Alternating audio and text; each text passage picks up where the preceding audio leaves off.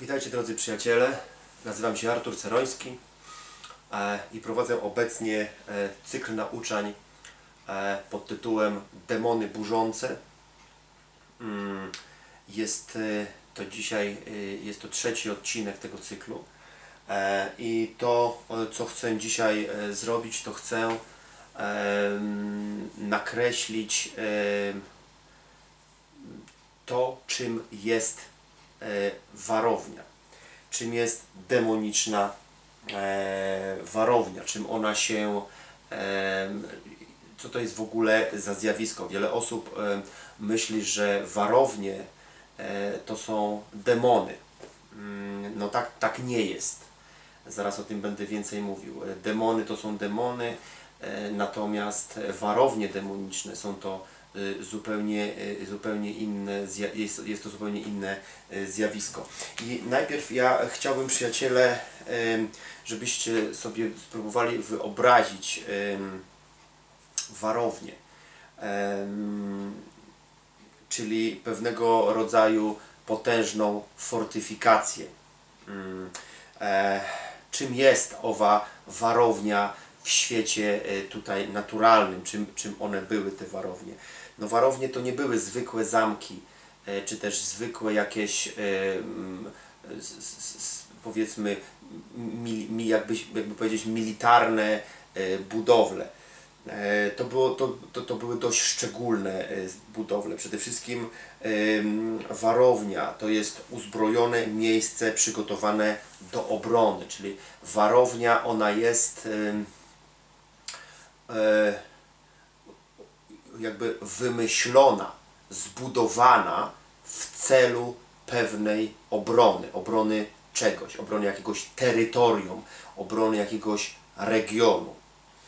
Mm, Warownia to budowla lub zespół budowli wraz z umocnieniami ziemnymi. Em, Wiecie, warownie od, od przeciętnego jakiegoś zamku różniło to, że warownia zawsze musiała być zbudowana na bardzo mocnym gruncie. E, najczęściej było zbudowana na skalę czyli ona musiała mieć bardzo mocne ugruntowanie, em, gdzie, gdzie, gdzie innego rodzaju y, budowle no niekoniecznie takie ugruntowanie musiały mieć. Mm, Warownie miały za zadanie utrzymać określony teren i ochronić ważne przejścia na tym terenie. E, a więc one miały e, musiały, musiały jakby y, do tego stopnia być sprawne, aby wróg nie mógł przejść y, w żaden sposób. Ten, kto, kto, kto napadł e, dany teren, żeby on nie mógł przejść. Czyli warownia miała e, bardzo szeroką przestrzeń fortyfikacji, e, miała lochy różne, miała tajne przejścia, em, starała się ukryć każde możliwe, jakby strzec każdego przesmyku. Tak była zbudowana warownia i cały, cały system, który, cały, cały kompleks budowli z nią związany. E, Warownie również posiadały zapasy żywności potrzebne do przetrwania oblężenia, a więc warownie to były miejsca, gdzie można było przez wiele, wiele, wiele dni, tygodni czy nawet miesięcy bronić się. Można było tam po prostu być w tym miejscu, tam było dużo z, z, z, jedzenia, tam było dużo zapasów, e, więc warownie były absolutnie przygotowane na to. Ja chciałbym, żebyście narysowali sobie e, w, swojej, w swoim e, wnętrzu w, tak, takie wyobrażenie warowni.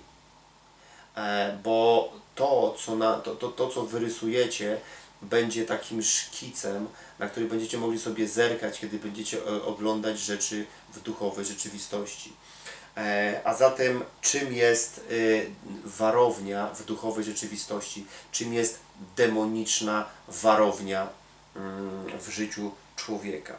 To jest budowla z wypaczonych myśli i emocji, zasiedlona przez określone rodzaje demonów o charakterach adekwatnych do wyżej wymienionych emocji i myśli. E, warownia demoniczna jest to pewna suma e, wypaczonych myśli i emocji, pokrzywionych myśli i emocji, które przez wiele, wiele lat narosły w życiu człowieka.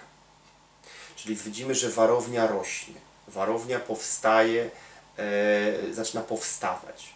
Już dzisiaj e, wielu, wielu ludzi badających zagadnienia demoniczne jest zgodna, z, że większość demonów, 80, nawet 90% e, blisko, mówi się między 70 a 90%, to, to, to, to jest jakby e, taki ruchomy temat, przychodzi do życia człowieka przed piątym rokiem życia. E, I w tamtym też okresie czasu już zaczynają się wypaczać e, myśli i emocje. Już we wczesnym dzieciństwie, kiedy dziecko zaczyna cokolwiek rozumieć, przychodzą pierwsze wypaczenia. Mm, I te wypaczenia rosną. Rosną przez lata. I powstają z nich całe przestrzenie zwane e, charakterami, usposobieniami. E, tak naprawdę są to potężne demoniczne warownie. Te warownie z tych wypaczonych, te, te, te budowle z wypaczonych myśli i emocji, mm, one są e, z roku na rok zasiedlane przez różnego rodzaju byty demoniczne, które to byty demoniczne w tych budowlach zaczynają żyć. Dlatego też wypędzenie demona to jest jedna rzecz, a zburzenie, zniszczenie warowni to jest druga rzecz. Bo można wypędzić demona, e, natomiast jeżeli ten demon e, przyjdzie po pewnym czasie i zobaczy, że on ma miejsce, e, które nie zostało wykorzenione, miejsce jego zamieszkania, miejsce jemu dobrze znane, e, no to on po prostu tam wraca do, do, do, do, do tego miejsca i jeszcze przyprowadza ze sobą częstokroć e, inne byty demoniczne. Mm, dlatego e, jakby chciałbym, żebyśmy już na samym początku zrozumieli, że warownia to nie, jest, to nie są demony, tylko warownia to jest miejsce przebywania demonów.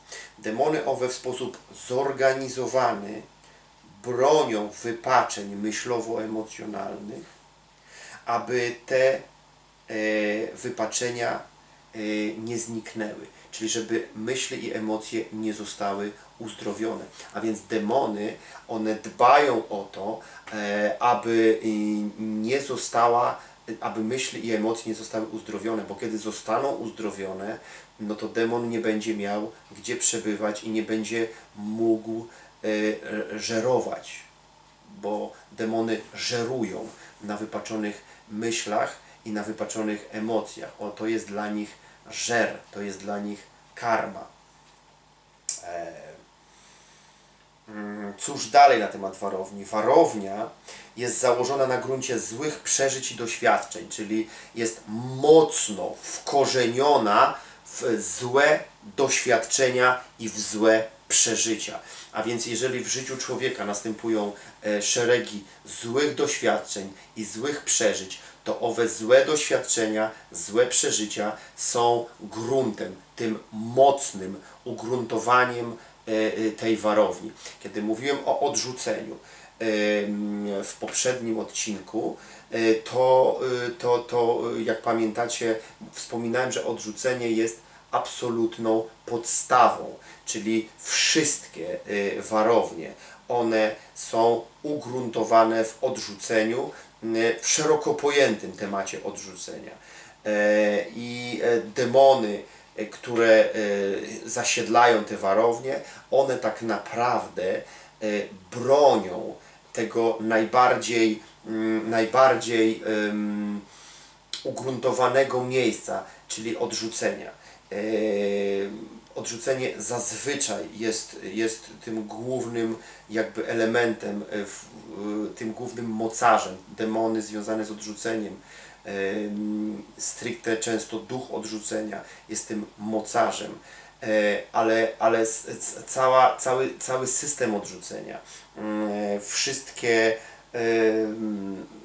wszystkie przeżycia i doświadczenia, które się mieszczą w przestrzeni odrzucenia, one są gruntem mm, dla, y, dla y, stabilizacji warowni. Warownia jest tak stabilna, jak stabilne jest odrzucenie mm, na podstawie odrzucenie y, jakby forma zgromadzonych przeżyć i doświadczeń na, na pułapie odrzucenia.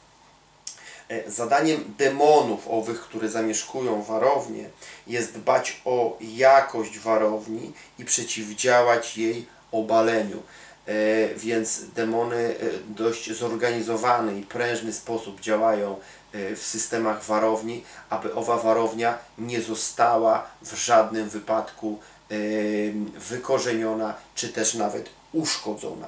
One skrzętnie działają na rzecz ukrywania każdego przejawu prawdy, który mógłby rozpocząć rujnowanie warowni.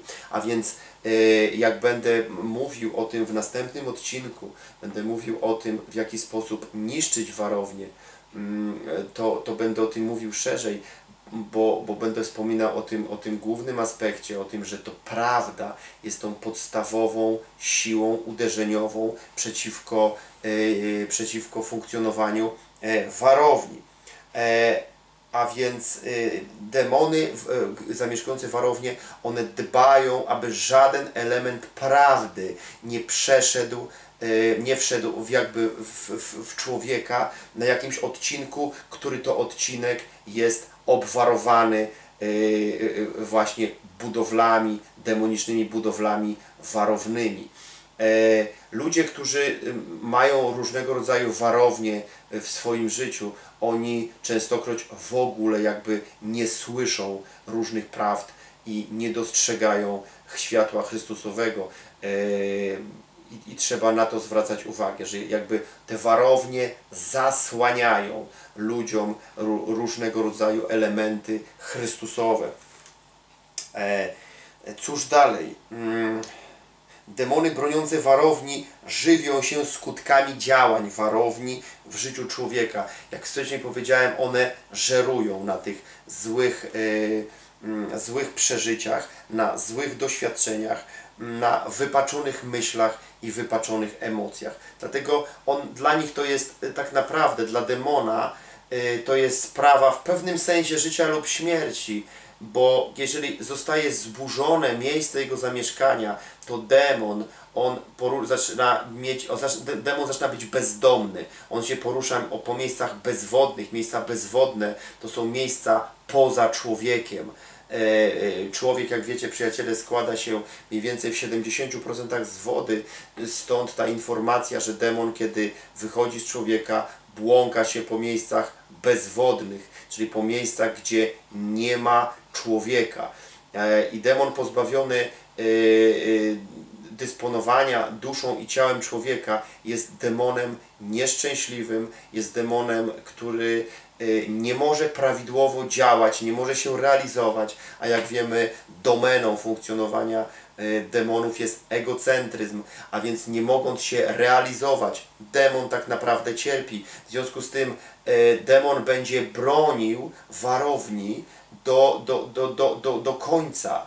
Rozumiecie o czym ja mówię? To jest bardzo ważne. To nie jest tak, że my spluniemy i ten demon sobie szybciutko e, opuści, e, opuści e, ten teren, a nawet jeżeli opuści, bo musi w wyniku działania Bożej mocy, to on będzie krążył wokół, wokół miejsca, z którego został wyrzucony i będzie patrzył, jak tam może sobie wejść. W związku z tym, jeżeli warownia nie zostaje zburzona, no to jak powiedziałem, on wraca. E, I, i, i, tak by chciałbym, żebyście zaczęli sobie tak to powolutku oglądać, że, że jakby demon, de, warownie dla demonów to jest ich dom, to jest dom, to są ich domy. E, I ostatnia rzecz. E, warownie przysłaniają każdą formę światła Bożego, e, e, które jest, mm, które jest uwalniane do opresjonowanego elementu życia człowieka i zagłuszają Boży głos uwalniany do tych dziedzin. I chciałbym, żebyśmy jeszcze raz to podkreślili, że ludzie mający warownię, oni jakby nie widzą i nie słyszą. Rozumiecie? E, oni mówi się do nich o, o pewnym jakimś prostym elemencie e, Bożym, o jakiejś zasadzie Bożej, a ci ludzie otwierają buzię jak, jak, jak niemowlęta i mówią, ale nie wiem o co Tobie chodzi. Nie wiem o co Ci chodzi. I jakby totalna ciemność, bo te warownie właśnie tak do tego doprowadzają. Warownia w życiu człowieka powoduje absolutną ciemność. Absolutną ciemność. To ja nie mówię, że, że w każdej dziedzinie, bo jak, jak będę później nauczał, te, te warownie są różne i one są w różnych, w różnych miejscach w życiu ludzi. I warownie można mieć w jakimś miejscu, a w innym nie mieć. I inne miejsce będzie oświecone, oświetlone, y, pełne, pełne jakiejś formy życia, e, a, a miejsce, gdzie jest warownia, nie będzie oświecone.